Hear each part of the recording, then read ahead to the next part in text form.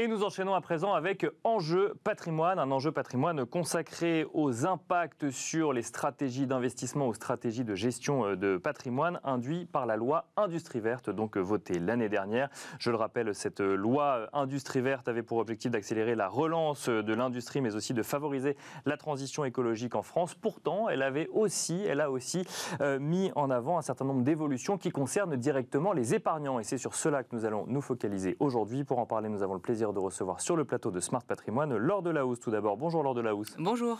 Bienvenue sur le plateau de Smart Patrimoine. Vous êtes directrice générale de l'AFG. Bienvenue et donc on va discuter un petit peu de la philosophie ensemble euh, de euh, cette loi industrie verte en matière d'épargne. Nous avons le plaisir d'accueillir également sur le plateau de Smart Patrimoine Stéphanie Moget. Bonjour Stéphanie Moget. Bonjour Nicolas. Euh, vous êtes gérante privée au sein de la financière d'USES. Vous allez notamment pouvoir nous expliquer un petit peu quelle stratégie mettre en place en lien avec ces évolutions. On va commencer avec vous, Laure Delahousse. J'ai rappelé l'objectif global de la loi euh, Industrie verte, donc ça concerne effectivement pas seulement la gestion de patrimoine, mais il y a eu deux, trois évolutions, notamment sur le PER, sur la création d'un nouveau euh, euh, plan d'épargne, on en parlera dans un instant. Globalement, quand on lit cette loi, qu'est-ce qu'on retient d'un point de vue épargne, stratégie d'épargne ou changement pour les épargnants?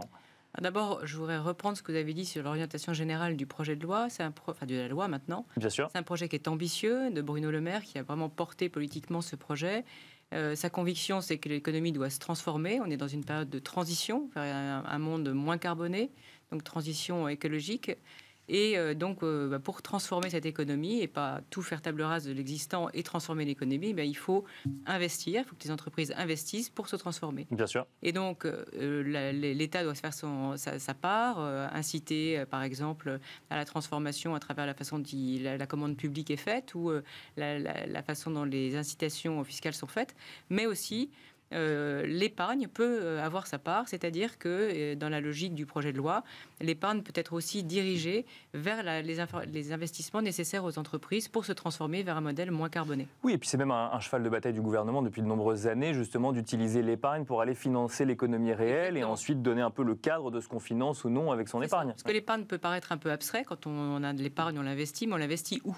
Et finalement, on peut donner du sens à son épargne, on peut diriger son épargne vers euh, aussi ses convictions. Bien sûr. Et donc, euh, l'idée de, la loi industrie verte pour la, partie épargne, c'est de participer justement à cet effort euh, généralisé de transformation de l'économie vers un modèle moins carboné. Et c'est pour ça qu'on a vu des évolutions sur le PER, qu'on a vu la création d'un nouveau plan d'épargne. On en parlera, le plan épargne avenir climat. Juste avant, là pour le coup, c'est quelque chose que tous les épargnants ne connaissent pas forcément. C'est LTIF lors de la hausse. On va continuer avec vous. Alors, euh, LTIF, pour ceux qui ne connaissent pas, on parle de Fonds européen d'investissement à long terme. Donc là aussi, financement de l'économie euh, réelle. Ça a été créé en 2015 et pour autant, euh, la loi Industrie verte apporte des changements. Est-ce qu'on peut redonner un petit peu le cadre pour ceux qui nous écoutent?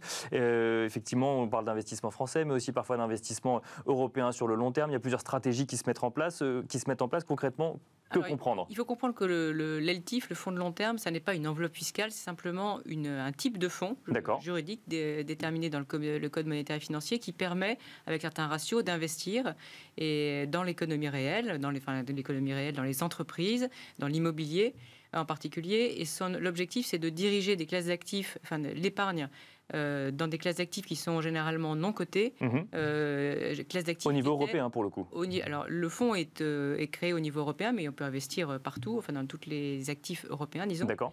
Et dans des classes d'actifs qui sont jusqu'ici plutôt réservées à des investisseurs institutionnels. Donc mhm. l'idée, c'est de rendre plus populaire, de démocratiser en fait l'investissement dans des classes d'actifs comme le capital investissement, mais aussi les PME cotées, les infrastructures et l'immobilier.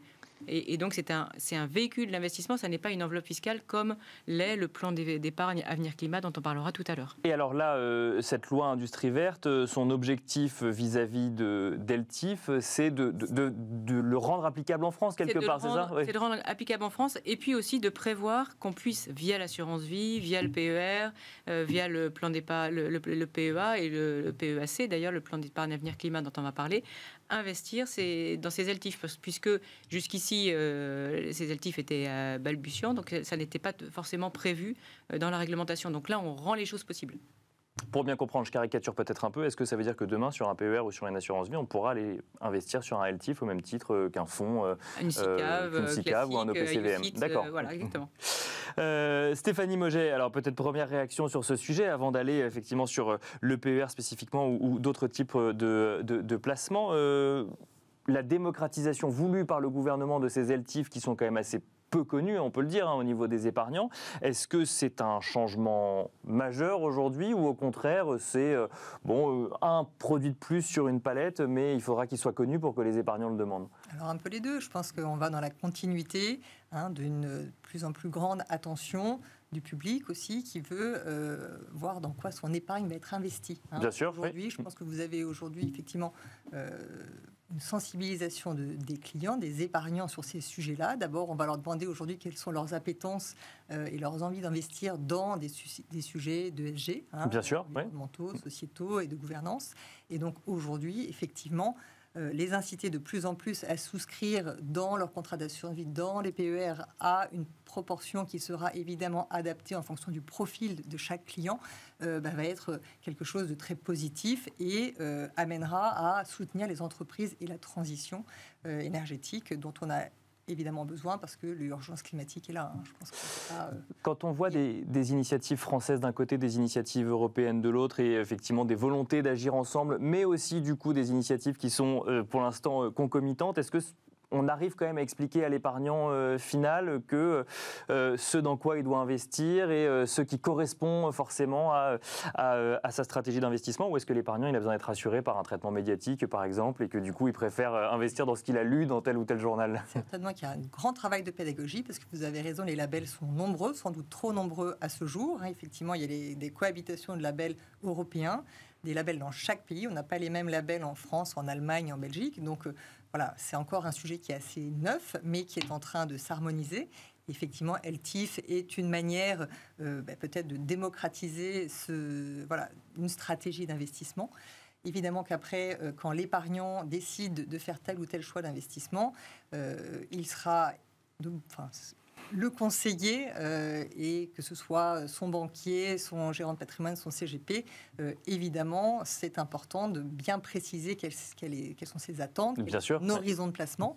Et c'est pour ça que euh, on a ce changement, sans doute dans le PER avec la gestion profilée à horizon. Mhm. L'idée étant de constituer l'épargne de sa retraite qui sera petit à petit, effectivement, investie au tout début le plus possible dans des classes d'actifs peut-être un peu plus risquées et dynamiques. Et puis, au fur et à mesure que l'échéance de la retraite se, précise, euh, qui sera convertie dans euh, des solutions plus liquides, hein, plus de, de, monétaire ou en tout cas d'actifs peut-être un peu moins risqué pour sécuriser l'épargne euh, de toute une vie de travail au moment de la retraite. Il est là le grand changement justement sur le, sur le PER euh, lors de la hausse, c'est de faire quelque part, c'est de faire comprendre et déjà de rendre possible et de faire comprendre qu'on peut aller investir dans l'économie réelle à un moment où on investit sur un PER pour préparer sa retraite, mais que c'est de l'argent dont on n'aura pas besoin tout de suite, c'est de l'investissement de long terme. Donc on peut se permettre peut-être d'aller investir, prendre un peu plus de risques pour euh, aider les entreprises françaises En fait, aujourd'hui, le, PER, ou tout produit d'épargne, il est investi dans l'économie réelle. Hein, oui, bien sûr, bien sûr, bien sûr, bien sûr. Il y a forcément une entreprise, il y a forcément l'État, et l'État, c'est aussi l'économie.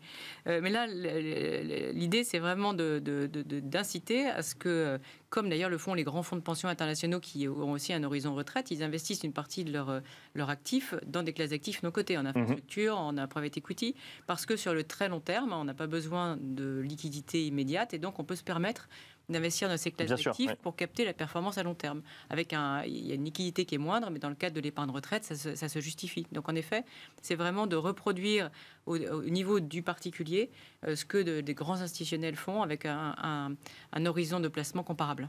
Parce qu'il n'y a pas suffisamment aujourd'hui de solutions de financement euh, dans le non-coté sur le private equity. Disons que ce n'est pas naturel. C'est oui, pas que ça, ça, existe. Du côté de l'épargnant final, en tout cas. Oui, c'est déjà possible, mais disons que euh, ça ne se fait pas naturellement. C'est vrai qu'après, il y a une, une, éducation financière à faire, de, de, dire, enfin, d'expliquer aux clients que c'est possible, d'expliquer en quoi ça peut être intéressant pour lui. Le conseiller a, a, son rôle à jouer, bien sûr. et donc, et puis derrière, à créer l'offre, à développer l'offre qui, existe déjà, mais c'est de lui donner plus d'ampleur, je pense.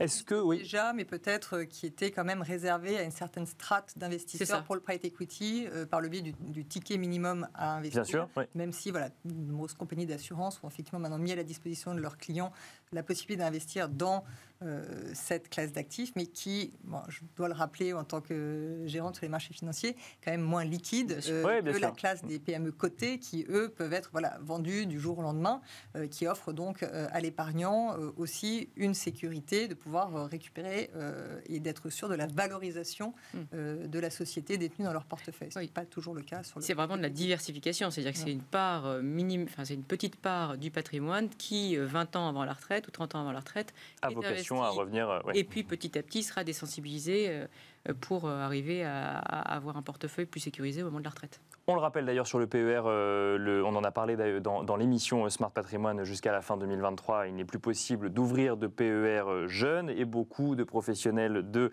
l'investissement mettent ça sur le compte notamment d'un nouveau plan d'épargne, le plan qui a été créé avec la loi Industrie Verte, le plan épargne avenir climat.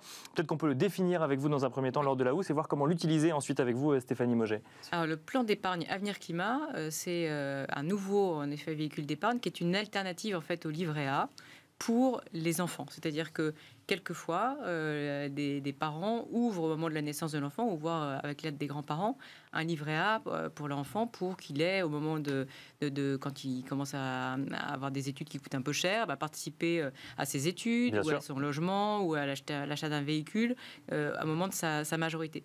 Euh, or, euh, quand on a 20 ans devant soi ou 18 ans devant soi, euh, puisqu'on pourra faire des versements jusqu'à 18 ou 21 ans, bah, on a une longue période. Et donc, c'est le moment justement d'investir sur des classes d'actifs peut-être plus risquées sur le court terme, mais plus rentables sur le long terme.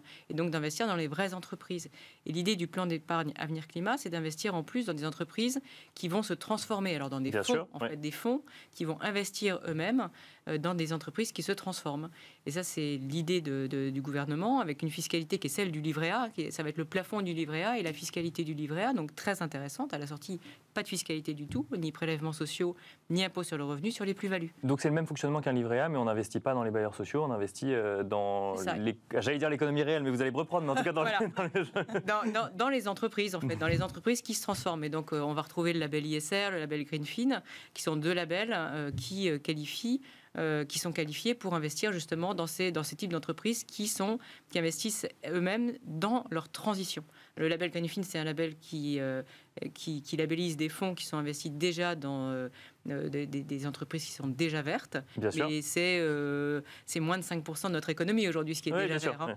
Et le label ISR, lui, il va investir dans des entreprises qui, sont, qui se transforment, qui sont en transformation, qui ont des plans de transition euh, qui montrent la crédibilité de leur démarche de transition. Stéphanie Moget, comment est-ce qu'on peut utiliser un produit comme celui-là à l'heure où tous les épargnants, ou en tout cas beaucoup d'épargnants, euh, demandent peut-être d'ajouter une touche de, de, de, bah de, ou de valeur sociale ou de valeur environnementale ou de gouvernance également dans les investissements Alors ce qui est sûr, c'est que les jeunes sont très très demandeurs de, plus de verre, de plus de gouvernance et de respect des, des règles sociale. Bien sûr. Euh, donc aujourd'hui, il y a toute une euh, typologie d'actifs hein, qui sont éligibles. Alors aujourd'hui, le décret d'application n'est pas encore paru, donc on ne sait pas encore exactement la liste des sociétés euh, qui, ou des fonds euh, effectivement, vous évoquiez deux labels qui existent déjà et qui permettent à des gérants de faire une sélection de ces valeurs qui respectent déjà beaucoup de, beaucoup de critères.